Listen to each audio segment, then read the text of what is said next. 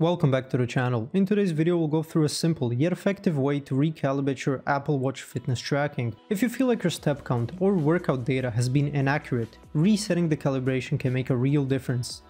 The process takes just a few minutes and can help your watch gather more accurate data. Grab your iPhone and open the Apple Watch app. This app is where you manage all your Apple Watch settings, including privacy and calibration options. Scroll down until you see privacy. This section is where you'll find the fitness calibration data and other health related settings. Here you'll see reset fitness calibration data highlighted in yellow.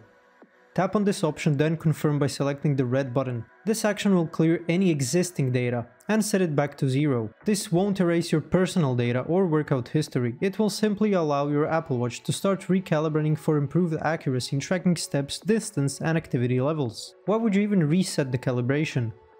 Over time Apple Watches can sometimes lose accuracy due to changes in the way you move or wear your watch.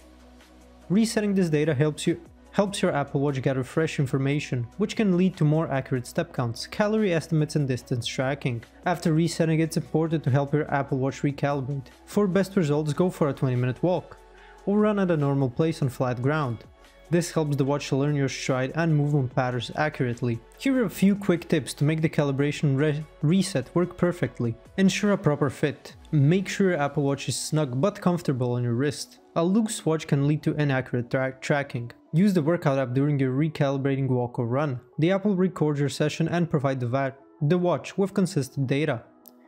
And resetting calibration is helpful, but don't reset your data too often as it can disrupt the calibration accuracy. Thanks for watching. If this video was helpful, please like and subscribe to our channel for more tips and tutorials. See you next time.